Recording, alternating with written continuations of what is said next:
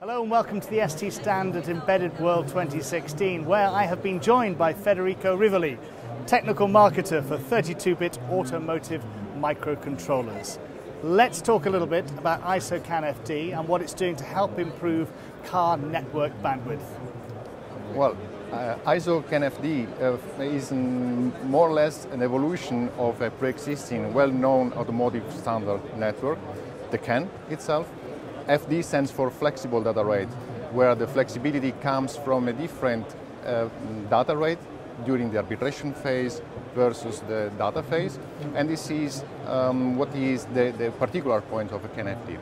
Recently, so in December last year, it became an international standard so that we call it now ISO CAN-FD. ISO CAN-FD features uh, up to 5 megabit per second during the uh, data uh, phase, but, and it offers a larger payload, so up to 64 bytes with respect to the former standard CAN.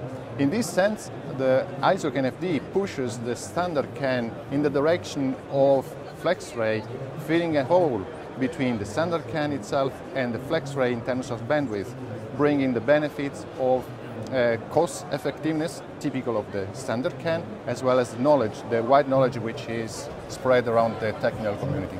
Okay, Federico, prove it. Let's see yeah. one of your microcontrollers sure. in action, demonstrating performance increase. In front of us we have a, a CAN-FD demonstration based on two um, microcontrollers which we brought recently on the market. They are represented here, so they are uh, belonging to the SPC57 family. And the data transfer is represented here by a simple image which is sent from source to destination via CAN-FD protocol. For instance, we, we start first from the uh, standard configuration to see which the speed of transferring the image is. And then here you, you see all the benefits which is really brought in, in pictures. In this case, we, we have seen which the speed was. Now we go in configuration or CAN-FD mode with up to 4 megabit per second, and we can appreciate which the speed is.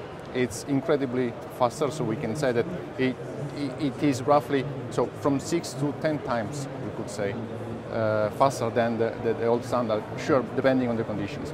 In this specific case, we were going up to 4 megabit per second, so not even going to the maximum extent because the ISOC CAN-FD itself offers up to 5 megabits per second. Here we were limiting ourselves simply up to 4.